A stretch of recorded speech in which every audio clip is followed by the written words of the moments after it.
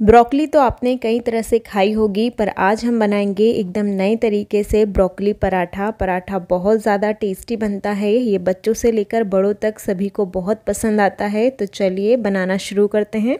यहाँ पर मैंने 250 ग्राम ब्रोकली ली है, ब्रोकली को रफली चॉप कर लिया है। अब हम इसे मिक्सर के जार में डालेंगे और इसे पल्स मोड पर पीस कर तैयार कर लेंगे। लीजिए, मैंने ब्रोकली को पीसकर तैयार कर लिया है। ब्रोकली को हम इस तरह से हल्का सा मोटा पीसेंगे, इसका फाइन पेस्ट नहीं बनाएँगे।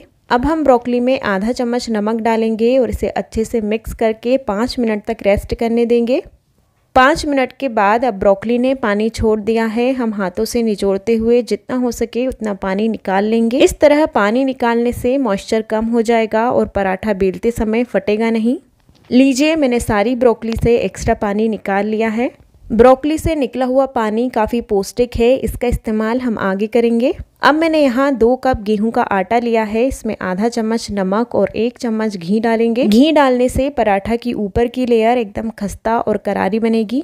अब इसमें निकाला हुआ ब्रोकली का पानी डालेंगे, इसे मैंने छान कर इस्तेमाल किया है। अब आटा गूंदना शुरू करेंगे, ज़रूरत के अनुसार इसमें पानी डालेंगे और एकदम सॉफ्ट आटा गूंद कर तैयार करेंगे।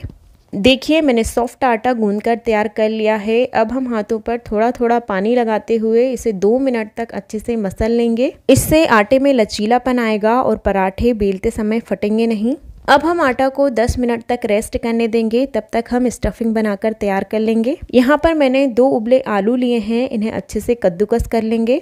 लीजिए, आलू को हमने कद्दूकस कर लिया है। अब इसमें आधा चम्मच जीरा, एक चौथाई चम्मच लाल मिर्च, एक चम्मच धनिया पाउडर आधा चम्मच हल्दी पाउडर, आधा चम्मच गरम मसाला, एक चम्मच अमचूर पाउडर, दो चुटकी हींग, एक चौथाई चम्मच शक्कर, आधा चम्मच नमक, एक चम्मच बारीक कटा अदरक, एक चम्मच बारीक कटा लहसुन, दो कट की हरी मिर्च, एक बारीक कटा प्याज, काफ़ी सारा हरा धनिया और पिसी हुई ब्रोकली डालकर इन सभी को अच्छे से मिक्स करेंगे और स्टफिंग बनकर तैयार है। अब आटा को रेस्ट करते हुए 10 मिनट हो चुके हैं। अब इससे एक मीडियम साइज़ की लोई तोड़ेंगे। अब इसे सूखे आटे में लपेट कर इस तरह से हाथों पर घुमाते हुए बड़ा कर लेंगे। आप चाहें तो इसे बेल कर भी बड़ा कर सकते हैं। अब इसमें अच्छे से स्टफिंग भरेंगे। मैं यहाँ पर दो चम्मच स्टफिंग लेकर भर रही हूँ।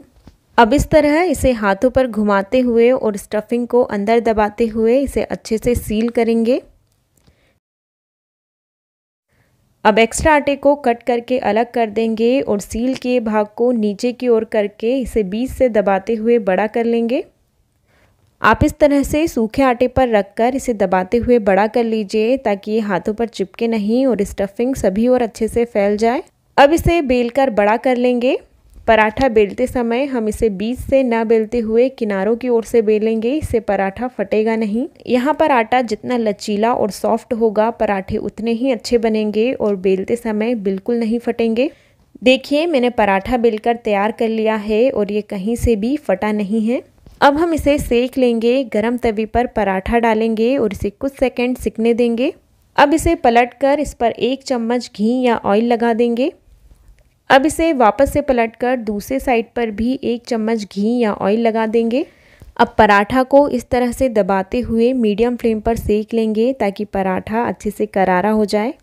देखिए, अब पराठा दोनों ही साइड से अच्छे से सिक चुका है और ये बहुत ज़्यादा करारा और टेस्टी लग रहा है। अब इसे निकाल लेंगे। अब इसी तरह से सारे पराठे बनाकर तैयार कर लेंगे। ब्रोकली के ये पराठे खाने में बहुत ज़्यादा टेस्टी और पौष्टिक हैं। अब अगर आपको ये रेसिपी पसंद आई हो तो वीडियो को लाइक शेयर और चैनल को सब्सक्राइब करना ना भूलें।